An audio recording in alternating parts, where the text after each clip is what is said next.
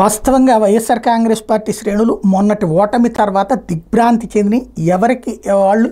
అసలు ఆ పార్టీని వ్యతిరేకిస్తూ తిడుతూ వీడియోలు పెట్టిన వాళ్ళు ఉన్నారు పోస్టులు పెట్టిన వాళ్ళు ఉన్నారు. ఆ పార్టీని వదిలేసేయడానికి సిద్ధపడినటువంటి వాళ్ళు ఉన్నారు. చాలామంది ఎవరి పనికి వాళ్ళు చూసుకుందాం అనేటువంటి రూట్లో.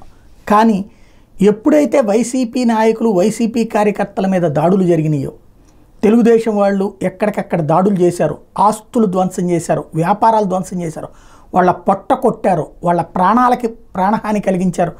పోలీస్ కేసులు పెడుతున్నారో. లేదా ఊళ్ళు వదిలి పారిపోవాల్సిన పరిస్థితి వచ్చిందో. అప్పుడు మనకంటూ మనం ఎట్లాగూ తెలుగుదేశం వాళ్ళ దగ్గరికి వెళ్ళలేం.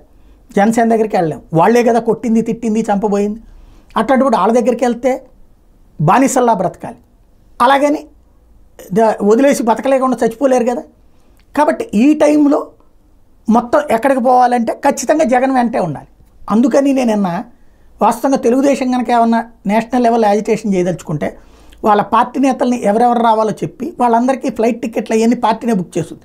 కానీ నిన్న వైఎస్ఆర్ కాంగ్రెస్ పార్టీకి సంబంధించినటువంటి ప్రోగ్రాంకి ఎవరికి వాళ్ళే టికెట్లు బుక్ చేసుకున్నారు. వందలాది మంది ఢిల్లీకి వెళ్ళినటువంటిది అనేక మంది నియోజకవర్గాలకు సంబంధించిన నాయకులు సొంత డబ్బులతో బయలుదేరి వెళ్ళారు. టికెట్లు తీసుకుని వెళ్ళారు. రిటర్న్ కూడా అట్లాగే వచ్చారు. దట్ మీన్స్ పరుగులు పెట్టారు ఓ రకంగా జగన్ వెంట వెళ్ళడానికి. ఎందుకు అంటే ప్రాణభయం ఆస్తి భయం భవిష్యత్తు భయం. ఇది తెలుగుదేశం చేసిన మంచి అనుకుంటా జగన్కి.